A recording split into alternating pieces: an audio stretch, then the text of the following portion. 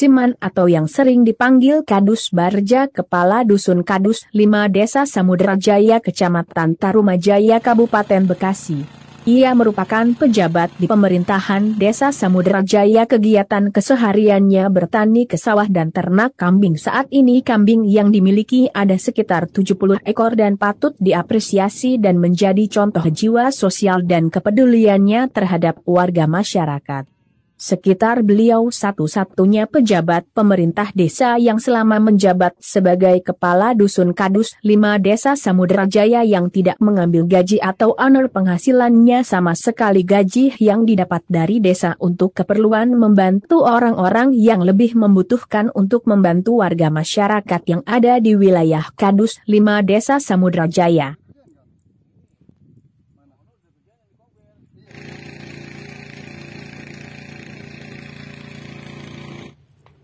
Ya tujuan saya sih masuk di jajaran perangkat desa itu bagaimana caranya supaya desa Samudra Jaya ini lebih maju gitu ya. baik itu di pertanian maupun perikanan karena di Samudra Jaya ini kan kebanyakan petani dan nelayan Nah, pekerjaan keseharian Bapak sendiri apa? Sa- saya sendiri selain saya tani ya keduanya ya ini saya mengembala kambing Mm-mm. Ada berapa sih kambing yang di Ya Biar- untuk yang sekarang ini kisaran gede kecil 70 ekor. Itu 70. kambing saya pribadi. kambing pribadi sendiri? Nah, dengan bertani dan ternak kambing, berapa sih penghasilan sebagai perangkat desa khusus sebagai ketua Kadus 5 ya? Kalau saya yang saya dapat dari desa gitu ya. Itu per bulannya hitungannya cuma 1.800.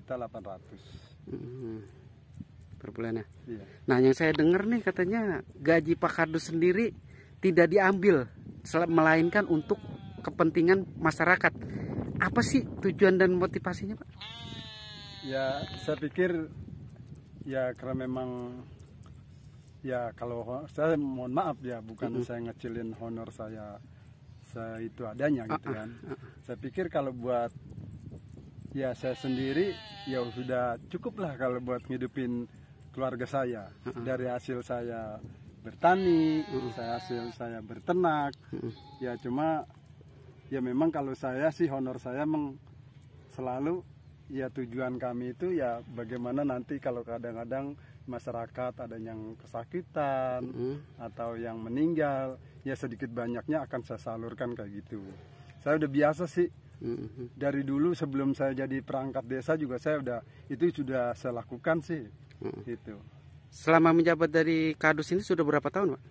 kalau jadi kadusnya sih saya baru empat tahun jalan. Empat tahun. ya dulunya saya dari 2006 itu menjabat sebagai ketua RW Hmm. dua periode saya dua- jadi ketua RW Oh, jadi menjabat Kadus sudah empat tahun. iya Jadi honor sebagai pejabat perangkat desa Kadus tidak diambil untuk pribadi untuk keluarga melainkan untuk persiapan masyarakat gitu pak. Iya, untuk persiapan masyarakat aja kalau lagi ada kebutuhan-kebutuhan gitu. Hmm. Karena masyarakat saya kan kebanyakan memang hidupnya tani dan kebanyakan sih nelayan kalau khususnya di Kampung Cabang Gelam. Salah salah satunya untuk masyarakat bantuan apa sih yang untuk diberikan ke masyarakat pak? Ya kadang-kadang dari pihak nelayan suka ngeluh katanya jaringnya rusak apa. Itu kadang-kadang berapa sih untuk beli jaring?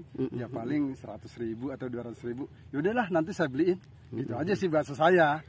Nah Kayak kayak gitu. kayak untuk masyarakat yang lain apa aja tuh yang diberikan pak? Kalau yang lain sih biasanya saya ya paling kalau lagi mau hari raya Idul Fitri biasalah kita bagi-bagi rezeki gitu kan ala kadarnya. Dan juga ya anak-anak yatim juga sering saya kasih juga. Oh, jadi berarti selama empat tahun menjabat sebagai kadus, honor kadus itu tidak pernah diambil, melainkan walaupun diambil untuk keperluan masyarakat. Bukan ya itu tadi kalau saya sih menyikapinya ya untuk persiapan aja gitu. Kebutuhan masyarakat. kebutuhan. Kalau misalnya saya sebagai ketua kelompok tani kadang-kadang kan mengadakan kerja bakti belum kali, itu kan biayanya cukup lumayan. Hmm, Jadi saya nggak selalu membebani teman-teman yang sebagai petani. Hmm. Paling dia saya, saya minta tenaga kerjanya aja.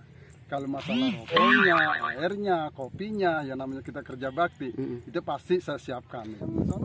Gaji owner dari desa yang didapatkan sebesar Rp1.800.000 per bulan Siman atau Barja sudah selama empat tahun menjabat sebagai Kepala Dusun Kadus 5 Desa Samudera Jaya. Gaji honornya diberikan untuk warga yang sangat membutuhkan uang gaji owner dari desa hanya diperuntukkan keperluan atau kebutuhan warga seperti untuk warga yang sedang sakit dan meninggal dunia dan para petani tambak atau petani lainnya yang harus dibantu kalau bukan kita siapa lagi selagi kita masih bisa berbagi dan peduli kepada warga jabatan hanya amanah dan titipan kalau tidak ada warga masyarakat kita bukan siapa-siapa jelasnya Kadus Simen atau sering si panggil Kadus Barja. Dari Tarumajaya Kabupaten Bekasi, Cecep mengabarkan.